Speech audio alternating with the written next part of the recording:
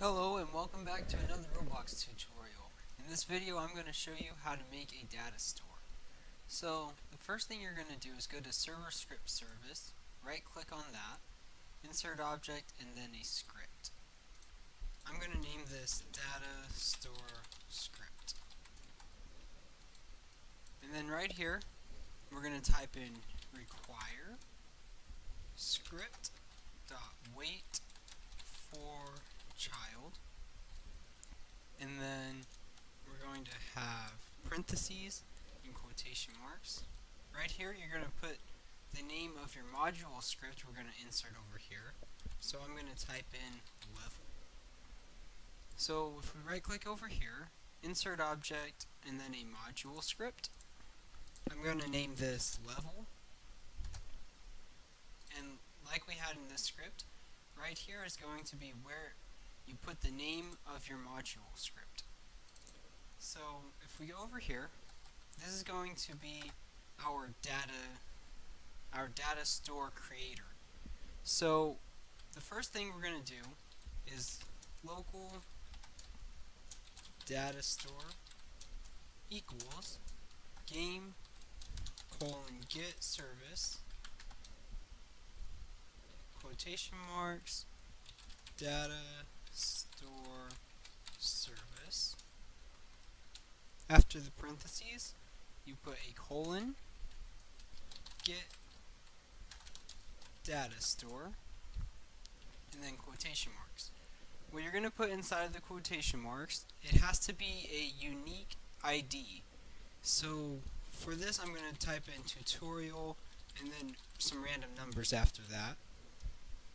But this key has to be a unique name. It could be whatever you want, but it has to be unique or else you might be accessing somebody else's um, data store. So if you guys have the same values between the two, it might get a little um, messed up through the different uh, servers. So just make sure that this is unique. And then the next thing we're going to do is local starting starting level equals 0. This is going to be the starting level. You can set this to whatever you want, and it's just going to be the starting level for each person. So I'm going to keep that at 0. And then game dot players dot player added colon connect function and then I'm going to type in player so this is just a function. So whenever a player in enters the game, it's going to activate this script. And then the next thing we're going to do is local stats. Local stats equals instance dot new parentheses quotation marks and then I'm going to insert a folder. This could really be whatever you want. It doesn't have to be a folder, but it's probably the easiest thing. And then player. So this is going to create a new folder. So instance.new is basically creating something new. So like if we right click on like this and then click insert object, any of these, it's basically the same thing as inserting an object instance.new. And then I'm going to type in folder, so it's going to insert a new folder. And then it's going to put it inside of the player that's we defined right here. So then stats dot name equals quotation marks stats. And that's just going to be the name of the folder. And then the next thing, local level equals instance dot new. And then this is going to be a number value comma stats. This is creating a new number value and is putting it inside of stats so this number value is going to be our level then level dot name equals quotation marks level. So when when this initiates, it's going to create a new number value called level, and the level is going to be the value of our level. So if we go and change this, let's say that we want each player to be level 5. So we type in level dot value equals starting level, and we could just change it up here to being starting level equals 5. I'm going to keep it for 0 for now though. And then the next thing, local, oops,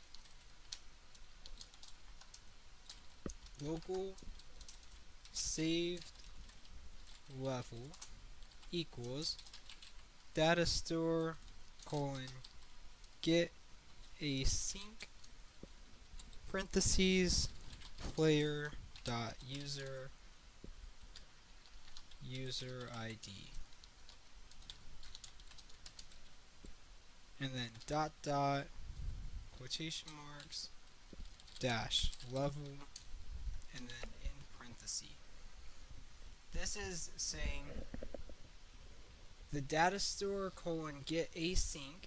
Getting an async is kind of like saying alright we're making sure that it has the value there. And if it doesn't then we're going to create one. So the next thing we're going to do is if saved level is not equal to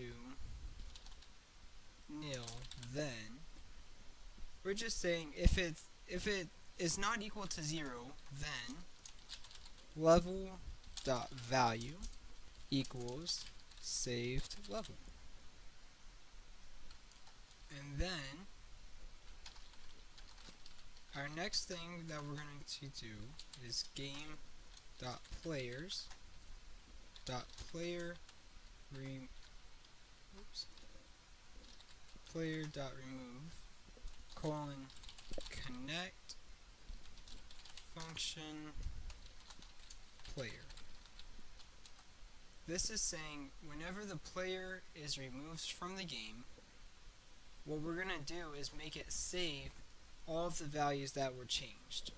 So local ID equals player dot user ID and then local le level value equals player dot stats dot level dot value.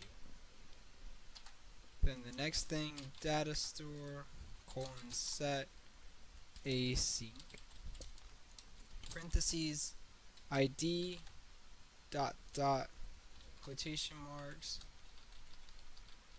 dash level comma level value. This is saying level value equals player stats level value and that's just getting whatever the value is of the player and then data store colon async set async is setting the value inside of our data store so that it'll keep it for the next time that the player comes on.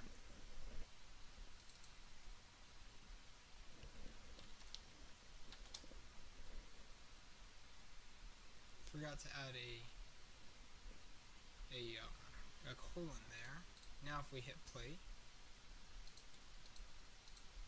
player 1 stats level equals 0.